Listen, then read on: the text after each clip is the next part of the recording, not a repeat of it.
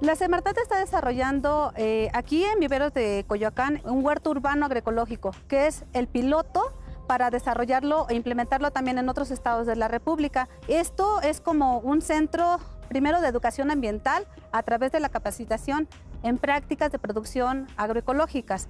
La agroecología es una ciencia, una disciplina compleja. Es una ciencia que retoma los principios, los conocimientos de los conocimientos tradicionales campesinos pero que además permite que se compatibilicen como con el conocimiento científico. En estos espacios se crea no solamente, nos enfoca no solamente en la producción de alimentos, sino que también nos permite generar condiciones ambientales y ofrecer servicios ambientales, servicios ecosistémicos a través de la creación de estos agroecosistemas. En este caso, pues estamos en un parque, es un parque este, que pertenece a las áreas naturales protegidas, pero también se cuenta en las ciudades, por ejemplo, con los jardines, en las escuelas, que consideramos ahí se podría retomar tanto como educación ambiental y también como construcción de espacios verdes. También queremos eh, revalorizar nuevamente el conocimiento tradicional, el conocimiento campesino. Esta es la actividad que, que sostiene, que nos alimenta.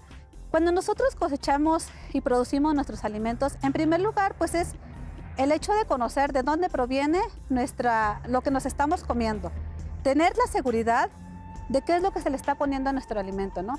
Por ejemplo, nosotros lo, lo llevamos aquí en nuestro huerto agroecológico, de repente estamos pues cansados, nos da hambre, para nosotros de verdad es así súper satisfactorio venir, te cortas un jitomate, te cortas un chícharo, lo, cualquier cosa, lo enjuagas y te lo comes sin ningún problema. No, no utilizamos agroquímicos, o sea, aquí todos son este, con prácticas agroecológicas, este, con bioles, biofertilizantes.